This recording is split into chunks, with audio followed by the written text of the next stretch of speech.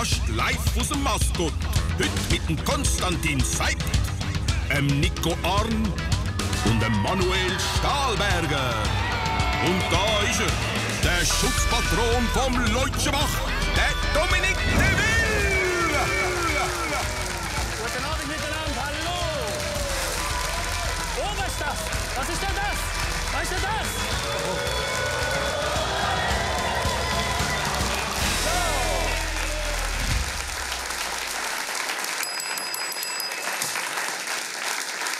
Merci! Aufwärts, es langt. Danke vielmals.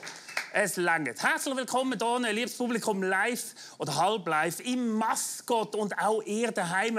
Herzlich willkommen und guten Abend bei Deville Late Night. Es ist heute ein ganz ein guter Tag für Schweizer Fernsehen. Ich habe gehört, ihr sollt jetzt wieder etwas Lustiges machen. Sie hätten hier ein neues äh, Format bei uns bei Deville Late Night. Und zwar das Format heißt anscheinend Weihnachtsblockbuster, die keine Sau interessiert. Und unsere Autoren haben hier ein bisschen etwas bastelt. Also Blocksbastler sind Was haben wir denn für Filme da, die keine Sau interessieren an Weihnachten, wo man mal probiert? Jurassic Bells. Ja, das ist nicht so. haben wir noch etwas Besseres? Der weiße Hai. Nein, das interessiert wirklich niemand. Was haben wir noch? By Heart. Sehr dumm. Das ist doch schon lustig. Allgemein ist so ein wunderschöner Tag jetzt oder eine schöne Zeit, eigentlich ganz allgemein jetzt hier in den europäischen Ländern. Ich meine, ähm, Weihnachtsbrüche sind auch nicht mehr so beliebt wie bisher. Man stellt es immer fest in der Schweiz. Immer weniger Christbaumkugeln hängen an den Bäumen. Dafür gerade zur Weihnachtszeit immer mehr Menschen. Und, und dann wird man auch noch dazu gezwungen, dass man sich mit einer Spezies treffen an Weihnachten, dass man mit einer Spezies von Menschen zusammentrifft, wo man wirklich nicht ausstehen kann, wo fremd ist, wo eine fremde Sprache redet, wo böse ist, ja, wo einem nicht gut gesinnt ist, wo man eigentlich normalerweise einen grossen Bogen würde rundherum machen das Jahr durch, richtig die eigene Verwandtschaft. Und da hilft nur die Flucht nach außen auf die Straße. Und auch nicht einmal dort ist man sicher und wird verschont. Nein, auf der Straße wird man angegriffen. Und zwar genau dort, wo man am verletzlichsten ist. Also im eigenen schlechten Gewissen. Hier der Beitrag dazu. Kennen Sie das auch? Sie sind auf dem Weg vom Schaffen, vom Posten oder vom Yoga und wollen eigentlich einfach heim. Doch plötzlich werden sie aufgehalten. Hallo, hast du einen Moment Zeit für einen guten Zweck? Von einem Spendensammler. Der gemeine Spendensammler ist normalerweise jung und intelligent und vorwiegend in urbanen Regionen unterwegs, an Bahnhöfen und in Einkaufszentren. Und zur Weihnachtszeit zielt er direkt auf ihr schlechtes Gewissen. Nach nur einem Satz werden sie entweder ihr Portemonnaie zücken oder den Rest des Tages mit ihrem schlechten Gewissen kämpfen. Finden Sie es gut, wenn Katzenbabys sterben müssen? Was können Sie also machen, um dieser Situation zu entgehen? Ich habe heute für Sie ein paar wertvolle Verhaltenstipps.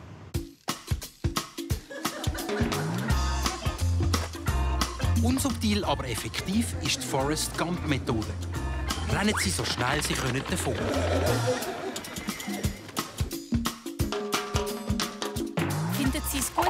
Dann hätten wir noch die gute alte Totstellmethode. Einfach totstellen. dass Baumschulen abgeholzt werden? Aber nicht schnell, das glaubt man Ihnen nicht. Entschuldigung, finden Sie es okay, dass viele Kinder in der Schweiz... Nehmen Sie sich Zeit. Improvisieren Sie ein bisschen. Und sterben Sie langsam.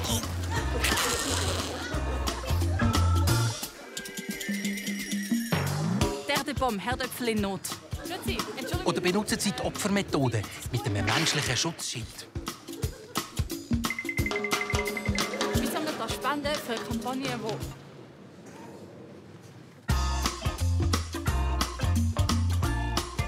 die... Genau so wie die Holzstöckli-Methode. Ja, hol das Münzli. Du, hol das Münzli. Ja, du das Münzli holen.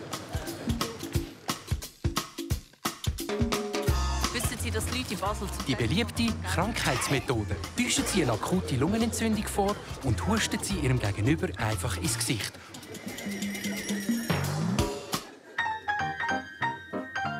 Was machen Sie also, wenn Sie trotzdem von so einem Spendensammler verwünscht werden? Ganz einfach. Sie nehmen ihm einfach den Stift weg und drücken ihn ihm direkt ins Auge.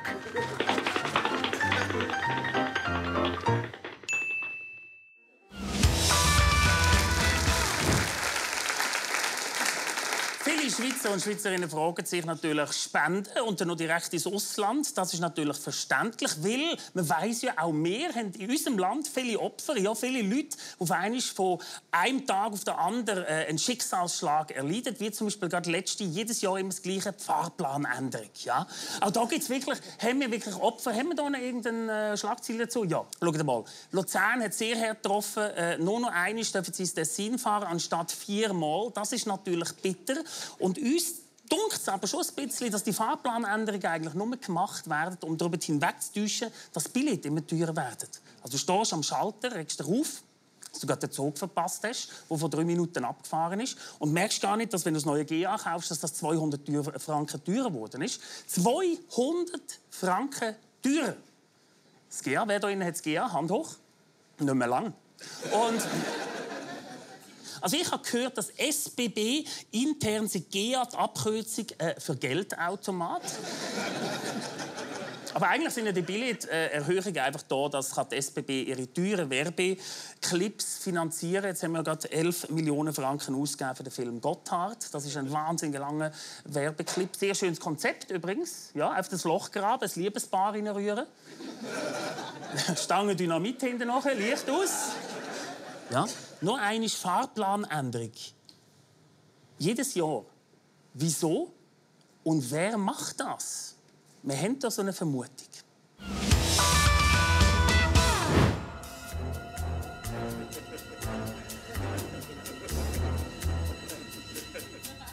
Null 38. Gehe ich mit? Dann riskiere ich es. 0844. Stimmt für mich. Mutig. Wenn es 0840 wäre, könnten die Leute auf die Zuger Seelinie umsteigen.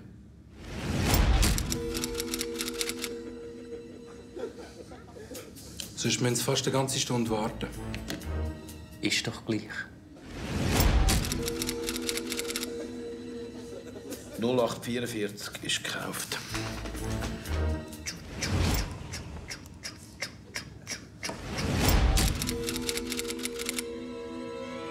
Du, aber äh, jetzt hast du Alwil rausgelassen. Ja, wegen meiner Schwiegermutter. Die wohnt dort und die ist sonst jeden Tag bei mir. Ja, aber du weißt schon, dass meine Kinder im 57er-Bus sitzen. Wenn die den Anschluss nicht verwünschen, müssen die dreimal umsteigen, bis die zu Luzern sind. Ja, eben. Wie meine Schwiegermutter. Mei, mei, mei, mei, mei, du bist ein Schlingel. Aber dafür gibst du mir am Sonntag den 16.30 dass ich schneller bei der Chantal bin. Gern, ja. Soll du einen Speiswagen anhängen oder ein langes Wägeli? Hm, Wägeli, lang. Weißt du, meistens nur ein Panettone. Nimm Biberli. Panettonen sind meistens abgelaufen. Äh, 1626 könntest du im Fall auch das Schiff nehmen. Um die Zeit hat es auch fast keine Lesen mehr. Ja, das ist interessant, ja. Äh, Ich nehme lieber den Zug. Ja, aber wenn der 1630 fährt, kommt niemand mehr aufs Schiff. 1633 ist in Ordnung. Aber dafür machst du mit dem Postauto gell, dann die Schlaufe bei Oberwil bei Zug. Aber dort fährt doch alle 10 Minuten ein Schiff. Ja, tragen wir es so ein, ja?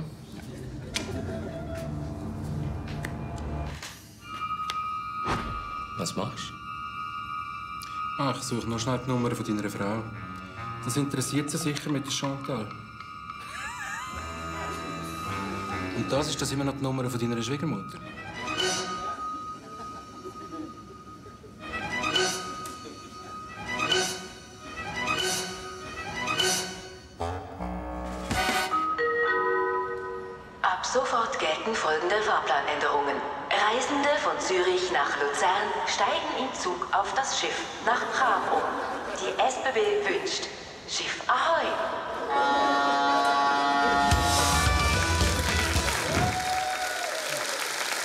Howard Carpendale from Hell hat sein Kabinett zusammengestellt. Das ist ein wahres Gruselkabinett. Vielleicht habt ihr das mal lesen was er da für Leute wollte oder wollte reinnehmen. Zum Beispiel hat er ähm, den Stephen Bannon heisst er, das ist sein Chefstrateg. Das ist so ein Ku Klux Klan Befürworter und äh, wirklich ganz ein rechter Hetzer im Internet. Dann hat er wirklich einen Klimawandelleugner hat er eingesetzt als Umweltminister, findet man sehr interessant. Der Verteidigungsminister ist ein Ex-General in Schießwürdigen namens James Mad Dog Mattis, hat er hier eingestellt.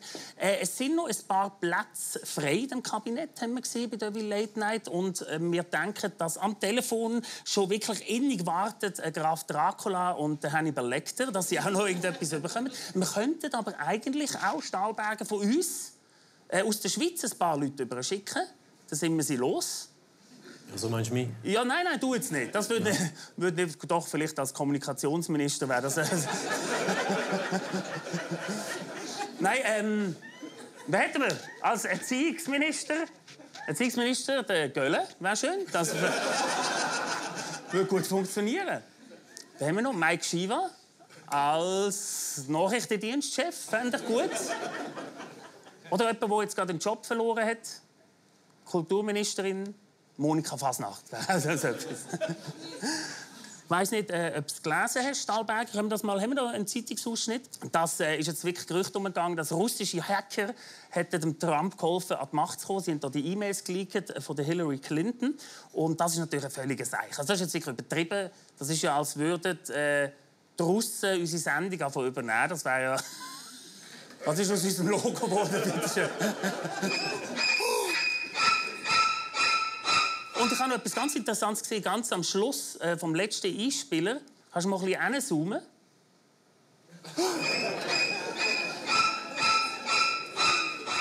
Wahnsinn. So, und deswegen gebe ich jetzt gescheiter ab an unseren Chefstrateg Manulenin Stalinberger. ja, äh zeige euch heute mal etwas sehr Persönliches, etwas von mir selber. Und äh, zwar habe ich diesen Sommer angefangen, die Zettel zu sammeln, die man überkommt auf der Post und man muss warten. Und jetzt zeige ich euch mal die Sammlung. Und dass ihr euch orientieren könnt, ich sortiert nach Höhe der Zahl, also von niedrig gegen hoch.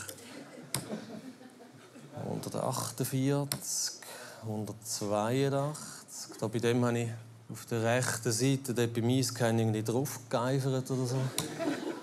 338. Also das ist vielleicht noch schön zu sehen, die ganze Reihe drin, Zahl 8 kommt äh, recht häufig vor. Da jetzt nicht, 356. Aber den habe ich doppelt, 356. Also, wenn jetzt jemand Lust hat, dann können wir jetzt mit mir auch noch täuschen. 408, 414, 638 und 639. Das ist doch ein sehr schöner Moment. Also, da habt ihr gesehen vorher 638, dann jetzt gezogen am 6. September und dann nur neun Tage später, am 15. September 639. Und echt genau wegen so Sachen macht man so Sachen. 799. Ah, Achtung, Achtung jetzt. Das ist mein Trumpf, der Täuschli nie. Da könnt ihr noch so kommen. 940. Das ist jetzt eigentlich schon der höchste in der ganzen Sammlung. Also da wäre es jetzt schon gewesen. Aber äh, ich, äh, ich zeige jetzt euch alle nochmal. Aber ich bin auch noch sortiert nach Datum. Das ist eben schön, also mal von dieser Seite anzuschauen. Da der erste, den ich behalten habe, 808, habe ich gezogen am 7.7. Und ich, ich, vermute, dass ich dort mal denke, das ist ein Zeichen. Irgendein Zeichen von ganz hoch oben ab. Und dann habe ich das gedeutet. Also im Prinzip ist ja alles ein Zeichen, wenn man es deutet, aber da ist eines, was sich wirklich gelohnt hat, darauf zu hören. Und so hat es dann angefangen. Bei dem staune ich selber immer wieder, dass ich am 19. Juli schon um 20 vor 9 Uhr auf der Post war. Eine unglaubliche Zeit. Und dann musste ich am gleichen Tag nochmal gehen. Wahrscheinlich habe ich in der Früh irgendetwas vergessen und bin am 4 ab 1 nochmal auf die Post und habe dort aber den gezogen. Das hat sich natürlich dann ähm, 1000 oder fast 1000 Mal gelohnt, da nochmal auf die Post zu gehen. 338. Eine Vorwahl von Thun. Ja, und dann irgendwann jetzt angefangen, habt ihr gesehen, vorher da, das 033, da haben sie noch die schönen, klaren, breiten Zahlen am 22. September. Und ich vermute, Ende September muss es passiert sein. Aber auf jeden Fall am 7. Oktober haben sie auf das Mal 940 so schäbige, schmale, schmörzelige Schießzahlen eingeführt. Und ich beschäftige mich schon recht lange mit dieser Thematik und ich muss sagen, das Design ändern, völlig überflüssig. Da der zweite von der doppelt. Also wenn jetzt jemand würde täuschen würde jetzt der Schmal hergehen, natürlich. 414. Und jetzt auf den Dezember haben sie wieder die breiten Zahlen eingeführt. Wahrscheinlich haben sie es selber irgendwie noch gemerkt, dass ich stelle mir vor, die Leute werden dann nicht mehr so kommen sein und aber ja, auf die Weihnacht her macht es wirklich auch wieder Freude, auf die Post zu gehen. So viel von unserem Chefstratege bei Devil Late Night, Manuel Stahlberger.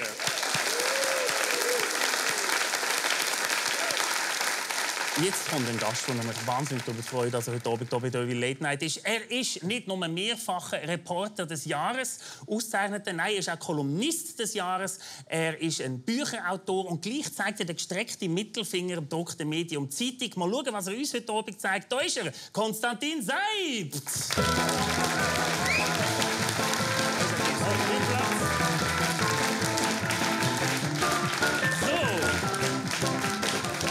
Konstantin, schön bist du da. Ich habe einen Haufen Fragen an dich. Ähm, ich weiß aber, dass du sehr lang und breit antworten Oh je, ja. äh, Du tust äh, aber sehr gut antworten, deswegen sind es eigentlich nur zwei Fragen, die ich an dich habe. Ähm, und zwar Zeitungssterben, das ist ein Thema, wo du dich auch damit befassen Mhm. mit dem Zeitungssterben. Wenn jetzt wirklich das sollte eintreffen, das Zeitungssterben, was steht auf dem Grabstein von der Leichen Zeitung? Ich glaube, wenn eine Zeitung stirbt, dann normalerweise spart man vorher und alle arbeiten wie wahnsinnig und versuchen die Lücke zu füllen und äh, dann wird die Zeitung immer grauer und immer dünner und immer jämmerlicher. Äh, und wenn sie dann stirbt, dann werden alle das Gefühl haben, sie, sie ist zu Recht gestorben, weil sie so schlecht war. Dabei ist das ein Managemententscheid von einem Jahr vorher. Das heißt, eine Zeitung stirbt nicht mit einem Knall, sondern mit einem Winseln und mit einem Grabstein, der niemand mehr interessiert. Da können wir gerade auf deinen Beruf Ja. sprechen. Du bist ja äh, Journal Journalist Ja, beim leider. Tagi. Und es ist ein äh, offenes Geheimnis, das hat man jetzt vielfach können nachlesen dass äh, der Konstantin Seib den Tagi wird verloren 2017 und sich einem eigenen Pro äh, Projekt wird widmen. Äh, ist das auch der Grund, warum du jetzt die Zeitung verlorst? Ist das so, die Ratten verlassen das sinkende Schiff? Ja, würde ich so sagen. Also die, das Problem bei den großen Zeitungsverlagen, äh, also in Deutschland Springer oder ähm, äh, in der Schweiz Ringe oder Atamedia, ist, dass sich die großen Zeitungsverlage eigentlich in Internethandelshäuser umbauen. Aber ich glaube, ähm, äh, eine Gesellschaft hat ohne guten Journalismus ein Problem, weil je besser die Informationen sind, desto besser sind die Entscheidungen. Und deshalb glaube ich, äh, just äh, for the fun of it und für das Land wäre es eigentlich nicht schlecht, wenn man versuchen würde, so eine Art Arche zu bauen, in der ein Journalismus überleben könnte. Also bist du so der journalistische Noah, denkst du? Weil du hast ja so etwas vor. Also du hast gesagt, die unsere Internethäuser verwandeln. Genau so etwas hast du vor. Das Project R heißt das, oder Projekt R, wie man es nennen will. Kannst du uns da darüber etwas erzählen? Was hast denn du vor 2017? Was ist deine Arche, die du uns willst bauen und die ganzen Tiere wirst du vielleicht mitnehmen? Also das Projekt ist irgendwie sozusagen leider ein bisschen zu schlank für Arche. Man fühlt sich so wie äh, äh, nur der irgendwie so ein mittelgroßes äh, äh, Hausboot baut äh, und dann stehen die ganzen Tiere und schauen einen an. Äh, und die Sache ist die, dass man versucht, äh, wir versuchen das Magazin zu bauen, das äh, äh, lebensfähig ist, äh, das äh, die große Geschichte bringt, äh, die aktuelle Geschichte zur Debatte, äh, mit No Bullshit, äh, die große Schauplätze, die große Frage und das Ganze mit großem Herz zu machen. Ähm, das klingt alles sehr schön und gut, aber, lieber Konstantin, wer soll, lies es von meinen Lippen ab, wer soll es bezahlen? Also wir haben da irgendwie ziemlich viele Leute haben jetzt einen relativ guten Job gekündigt ähm, und wir werden unser Schicksal und das Schicksal von unserer Familie, von unseren Kindern äh, äh, in, das Hand, in die Hand von der Leser legen. Äh, das heißt, wir Wolltest du in die Kamera sagen mit einem wehleidigen Blick vielleicht? Das würde es vielleicht noch bringen. Nee, äh, die, die Sache ist die, es macht keinen Sinn, so etwas zu machen, wenn die Leute es nicht wollen. Und deshalb haben wir auch ähm, äh, gesagt, okay, ähm, Also Prinzip Hoffnung, tun dir da ganz klar Nein, das ist das Prinzip irgendwie äh, Skin in the Game, das Prinzip Risiko. Äh, Halt, Entschuldigung. Hast du mal... ja, Ist das Wodka? Wodka? oh ja, Hast du, ist Wodka, oder? Nastarovje. Ja. Wie? Ich habe dich unterbrochen, gell? Das wollte ich nutzen und gerade zu der nächsten Frage kommen. Das ist alles schön und gut. Das klingt sehr digital, das klingt sehr modern, das klingt sehr schlank, wie du sagst. Aber was mir persönlich fehlt, ich bin wirklich ein Freund von allem Haptischen. Von allem, was man anlängen kann, etwas, was wirklich real da ist. Mir fehlt äh, das Schmecken von der Druckerschwärze. Was soll ich äh, dein Portal lesen und nebendran irgendwie mit dem Blick knistern? Ich weiß es nicht. Äh, w- ist das etwas, wo dir überhaupt nichts äh, bedeutet, dass das, das, das, was da ist, etwas zum Anlängen, kannst du auf das komplett äh, verzichten? Also man könnte natürlich so ein elektronisches Knistern einbauen, gerade für dich.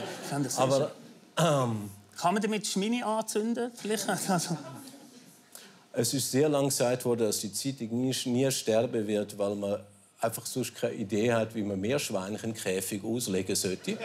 Ah, kommen wir vom Digitalen noch mal ganz zu etwas Haptischem. Heute Abend haben wir einen jungen Mann hier aus der Ostschweiz, äh, der einzige Ostschweizer neben dem der auch lustig ist. Hier auf der Bühne kommt er, ein junger Mann, der es noch nicht so weit geschafft hat, weit ins Fernsehen. Wir wollen ihm die Plattform geben. Bitte großen Applaus für Nico Arn. Hey, danke vielmals. Es ist super zum da sein. Sehr super. Sehr beängstigend, merke ich gerade. Weil eben im, am, am Fernsehen ist ja das mein erstes Mal und es erinnert mich sehr stark an mein erstes Mal. Wenn ihr wisst, was ich meine. Also, es gibt da durchaus Parallelen, muss ich sagen. Es ist auch so halb dunkel und ich bin nervös. Und irgendwo höre ich jemanden lachen. Und, und ich versuche, um in die Kamera zu schauen. Und dann eben die Zeitvorgabe, die ich bekommen habe, oder? Habe ich überhaupt so viel Progr äh, Programm? Und wenn ja, verhebt, wäre dann doch schade, wenn alles in die Hose geht. Gerade weil ich so viel vorher allein geübt habe. Es ist nämlich gerne nicht so einfach, um einen Raum voller wildfremden Leuten äh, bei Laune zu behalten. So eine fremde Gruppe, das ist noch recht anspruchsvoll, merke ich. Aber genug von meinem Sexleben. das ist gut. Als ich geschrieben habe, habe ich geschnallt. Ich mache Stand-up schon eine Weile und der grosse Reichtum und Erfolg haben sich aber noch nicht eingestellt. Ich bin aber immer noch am Träumen. So Nico Arn, Privalo. Dort haben wir so ein bisschen her, oder? Zum Moment sind wir noch bei Nico Arn, Pri Garanti. Aber dann, wer braucht schon Reichtum, wenn er, ja, wenn er sich schon gewöhnt hat an, an Wein aus dem Tetrapack? Äh, oder wenn er eine gute Stammbeiz gefunden hat, wie ich, wo, wo die Frauen noch willig sind, Getränke trotzdem günstig. Und wo es niemand merkt, wenn man ab und zu ein paar Rollen WC-Papier mitgehen lässt. An dieser Stelle vielleicht äh, ein riesen Dankeschön an die Cafeteria vom Altersheim Augiers in Wiednau. Dankeschön. Ihr merkt, oder ihr hört mir an, ich komme von weiter her, ich komme wirklich vom Land. Und dort haben sie mir immer gewarnt vor Zürich. Oder? Müssen aufpassen, oder sagen sie wahnsinnig, wahnsinnig laut und gewaltbereit und mit riesen Eier. Und seit ich da bin, muss ich also wirklich feststellen, Zürcher Männer sind fast genauso schlimm. Darum bin ich immer ein bisschen vorsichtig, wenn ich in Zürich bin auch. Weil äh, letztes ist mir passiert, dass irgendjemand aus einer dunklen Gasse auf mich zugekommen ist, so eine Gestalt. Und ich habe ja eine sehr gute Nachkampfausbildung in meiner Jugend. Das heisst, ich habe zwei ältere Brüder und es hat einmal immer nur ein Pack Fasnachtskirchen gegeben.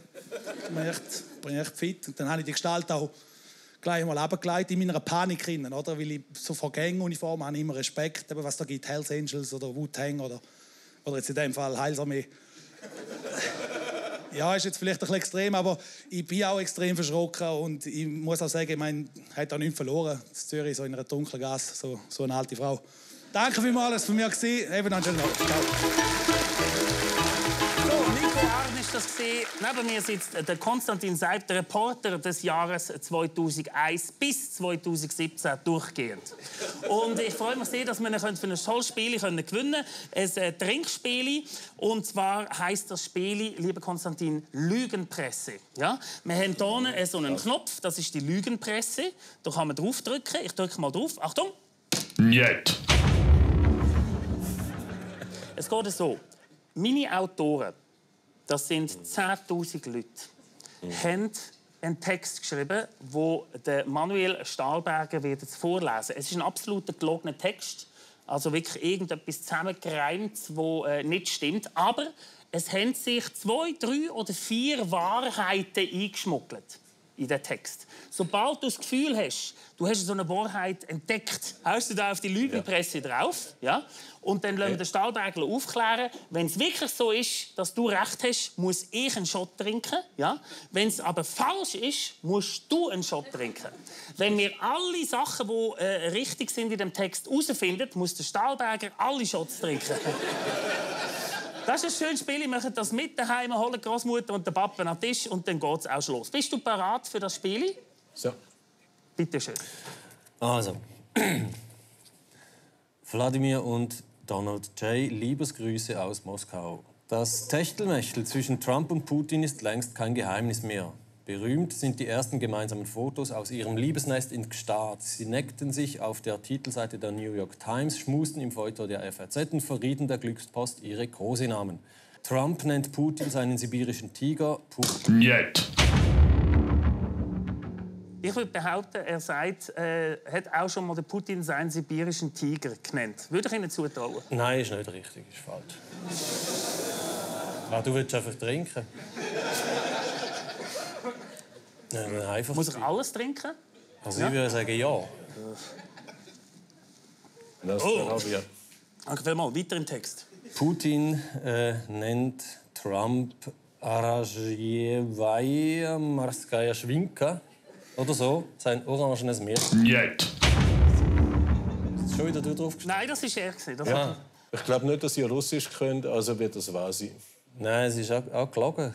Ich habe Fehler vor, vorgelesen. Konstantin, mach. Die Sendung wird immer besser. Einen würde ich auch noch gerne nehmen. Ja, ja. Oft nenne ihn Putin auch schlicht und einfach Genius, verrät Trump. Niet. Ja, das ist Ja. jetzt tatsächlich so. Ist so gestanden. Also das ist jetzt... Ähm, Cheers. Dominik. Das heisst, Also es, es, ist, stimmt, dass der, der Trump gesagt hat, der, der Putin hätte ihm Genius gesagt, aber es stimmt nicht, dass der Putin... ja, ja, habe verstanden. Also, Ja. aber anscheinend habe ich nichts Falsches vor. Nein, nein, ist alles gut. 2013 reist Donald Trump an die Miss Universe-Wahl nach Moskau. Niet. Ich bin überzeugt, er ist an die Miss Universe-Wahl in Moskau gereist. Ja, das steht Ja. da, das stimmt. Das ist so Trumps berühmte außenpolitische Erfahrung. Ja. Venezuela, Miss Russia. Nastrovje. Ähm, seitdem schreiben sich die beiden täglich in langen Briefen und schlechtem Russisch erzählt Trump von seinen Sorgen und Nöten. 2014 schlägt Putin vor, Trump solle doch auch Präsident werden. Trump verkündet daraufhin seine Kandidatur. Auf die Frage, ob es okay sei, dass Putin Journalisten töten lässt, meint Trump, Russland hätte im Vergleich Niet.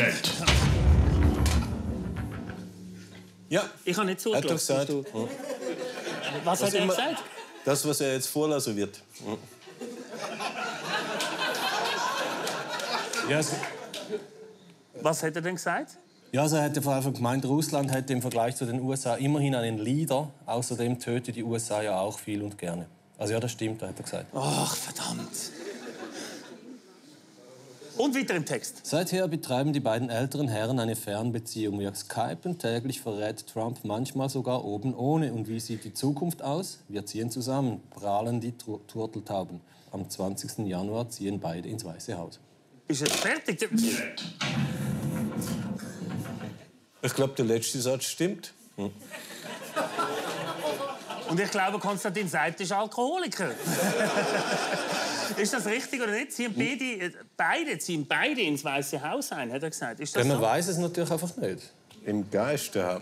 Also, das ist jetzt natürlich fiktiv. Also, ich würde sagen, jetzt müssen wir alle Das ist zusammen- Ich würde sagen, wir müssen alle einen trinken. Jetzt, das ist, jetzt müssen wir einfach den einen zu alle einen trinken. Ja, sehr gern. So. Wohl. Und sagen Nastrovje. Nastaravia. Ui. Ist das Spiel fertig jetzt? Bist du fertig? Ja, von mir her kommt da nicht mehr. mehr. Viermal vier Strafpunkte gegen drei Strafpunkte. Das heisst, meine Damen und Herren, Konstantin Seibt hat gewonnen heute Abend. Hey! Dein Preis. Konstantin sagt, was du heute Abend hier gewünscht bei Deville Late Night, und ich freue mich sehr darauf, dass du den Preis kannst entgegennehmen kannst, ist ein Russenparty!